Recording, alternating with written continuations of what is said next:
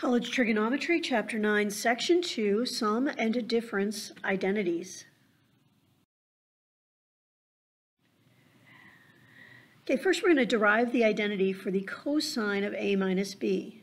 So we're going to let angles a and b be angles in standard position. You see them there on, um, on the diagram. A is the red angle uh, from the um, initial side to the red line is the terminal side and B is going to be the blue angle, uh, or sorry, the green one, the one that goes from the initial side of the x-axis to the green line, not the blue, my apologies. And B is a smaller angle than A. S and Q are going to be the points they intersect on the circle. They're going to be the, the points on the terminal side. And as we've learned before, the x value is the cosine of the angle, the y value is the sine of the angle. Okay, so Q has the coordinates cosine B sine B, and S has the coordinates cosine A sine A. We're also going to define an angle that is A minus B, and that angle is the one that ends on the blue line there. The blue line is the terminal side, and its um, coordinates are going to be cosine A minus B and sine A minus B, because that angle is going to be the measure of A minus the measure of B. and angle SOQ actually equals A minus B. Okay, if you think about for a minute, you can see how those two things are going to be equal. So, since SOQ and POR are congruent, the chords, the straight lines uh, between the two endpoints of those angles have to also be equal. Using the distance formula and the points, we get this. And without going into too much detail, I don't like to, as a mathematician, say, then we do magic, but you know, if you want me to, come to me and I will show you how this works out. But you can uh, simplify this and use the identity sine squared plus cosine squared equals 1. And if you do that, you will get, believe it or not, the cosine of a minus b equals cosine A cosine B plus sine A sine B. Now again, we didn't derive it or do all of the math here, and if you just desperately want to see how that works, then uh, come see me after class sometime and I will show you how that works. Uh, or you could try it for yourself, but it does work. It gives us this identity. To find the cosine of A plus B, what we would do is we would just rewrite it as A minus negative B, and then use the identity we just got for cosine of A minus B. And it looks like this. And then we remember that the cosine of the negative of an angle is the same as the cosine of the angle. And for the sine of a negative of an angle, it's negative sine of that angle. So we get that. And then uh, moving that negative out in front, we end up with this for our identity. So here are sum and difference identities. Now the good news is that you do have these on your formula sheets like I said, section one you had to know. Section two and on, these will be given to you. These are given to you on your formula sheet. So using that, find the exact values of the following. Now what you need to do here, exact value means we're going to be using the unit circle. There is no 15 degree on the unit circle, but there is a 45 degree and a 30 degree. And 45 minus 30 is 15. So you're going to be doing the cosine of 45 minus 30 and putting it into that identity. And you're going to be doing the same for 5 pi over 12. You need to find two angles that when you add or subtract, give you 5 pi over 12, and that will be in radians. Pause the recording, give this a try, and resume to check your answer. Okay, I already told you for cosine of 15, we're going to use 45 minus 30, and then just put them into the formula. Uh, notice it says you could use 60 minus 45, so there is more than one right way to do this. Um, know, so it's kind of up to you as long as you have a legitimate way of reaching the number you need. And then for 5 pi over 12, we're going to use 2 pi over 12 plus 3 pi over 12, which happens to be pi over 6 plus pi over 4. And you can see how that works out there. Sine formulas, we're going to use the cosine that we just derived. I mean, why waste it? And we're going to use the cofunction identity. In other words, we are going to use the fact that the sine of an angle is the same as the cosine of pi over 2 minus that angle. And then that angle we're going to let be a plus b. So here's what that's going to look like. So the sine of a plus b is going to be the cosine of pi over 2 minus a plus b. which is the cosine of pi over 2 minus a minus b. And uh, so we have cosine of pi over 2 minus a. Putting it all into the formula, uh, the pi over 2 minus a is going to be the first angle, b is going to be the second. And you can see how that formula is derived. Again, you don't have to know how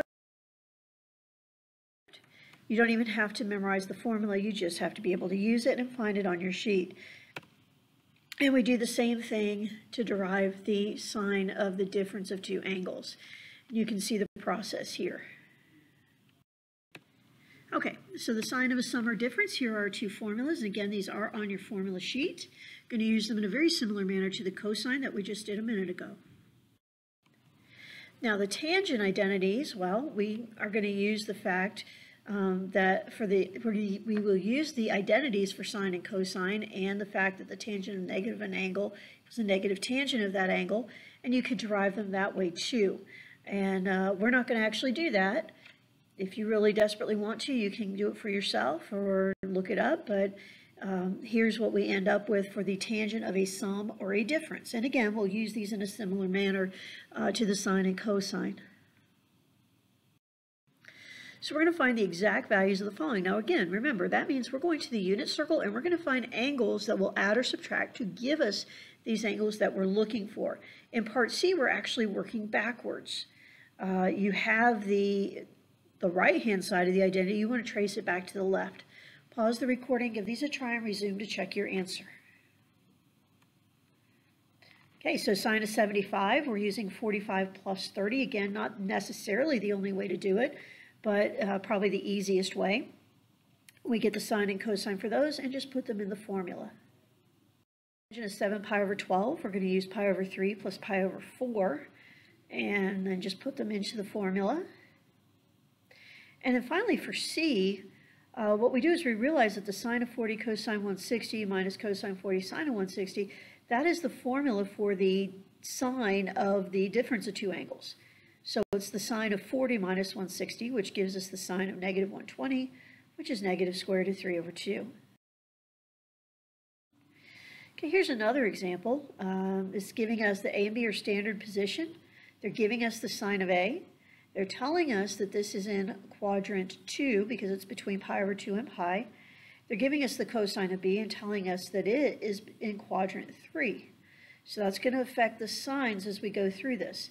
You're going to find the sine of a plus b, the tangent of a plus b, and then the quadrant of a plus b. Pause the recording, give this a try, and resume to check your answer. Okay, for the sine of a plus b, well, first of all, we need to know what the cosine of a is. We know the sine, and then we'll need to find the sine of, uh, of b. But we can just use our Pythagorean identities for that. So just because we're in a new section doesn't mean we've tossed those aside. So first solve for the cosine of a, and then you can find the sine of a plus b. We can use the values of sine and cosine from part A to get the tangent. So we do the tangent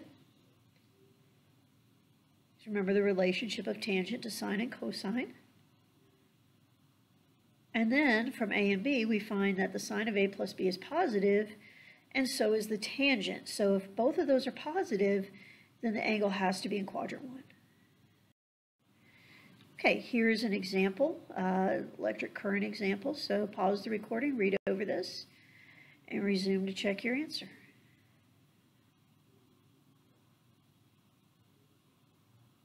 A says since each cycle is 2 pi radians, if it's going 60 pi cycles per second, then the angular speed is 60 times 2 pi, which is 120 radians per second, 120 pi radians per second, excuse me. The voltage, 163 sine omega t. Well, we already know omega, we found that in A.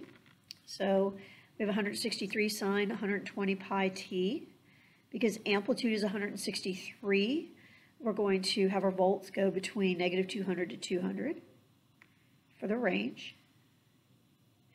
And uh, for the range of our graph so that we can see a good graph.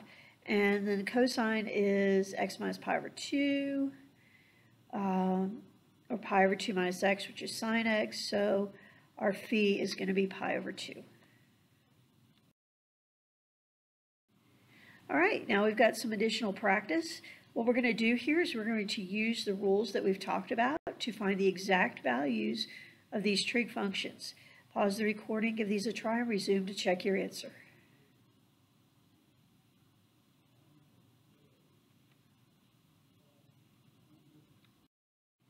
Same thing here, find the exact values of these trig functions.